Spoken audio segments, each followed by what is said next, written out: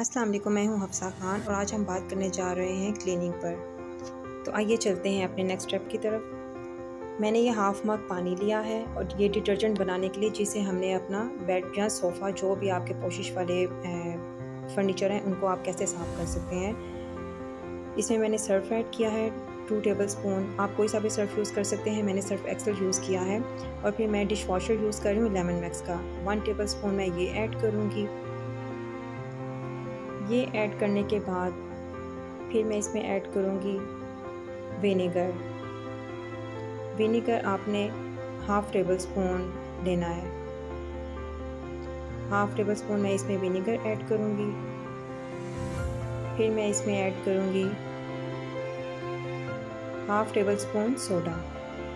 अगर आपके पास लेमन है तो आप वो भी इस्तेमाल कर सकते हैं। अगर नहीं है तो आप स्किप भी कर सकते हैं। तो इसमें, इसका कोई इशू नहीं।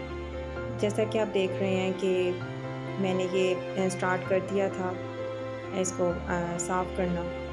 तो आपको ये वेट नज़र आ रहा होगा कि मेरा वेट गीला है, कोशिश साइड सारी गीली है। तो ये साइड अभी रह गई थी साफ़ करने वाली।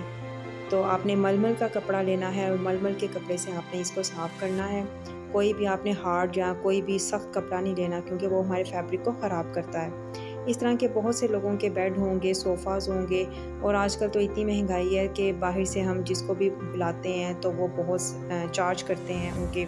तो और लोग इतना अफोर्ड नहीं कर सकते। तो ये सब चीज़ें आपके घर में इस्तेमाल होती हैं नॉर्मल रूटीन में इस्तेमाल होने वाली चीज़ें हैं जिनकी मदद से हम इस्तेमाल करते हैं। और जब मैंने ये करना शुरू किया और जब मैंने ये साफ़ किया, ये पाँच साल बाद मैं अपना बेड साफ़ कर रही थी तो मैं ख़ुद हैरान रह गई थी कि इस डिटर्जेंट की वजह से इतना अच्छा साफ़ हुआ कि मैं खुद देख कर बहुत ज़्यादा हैरान हुई।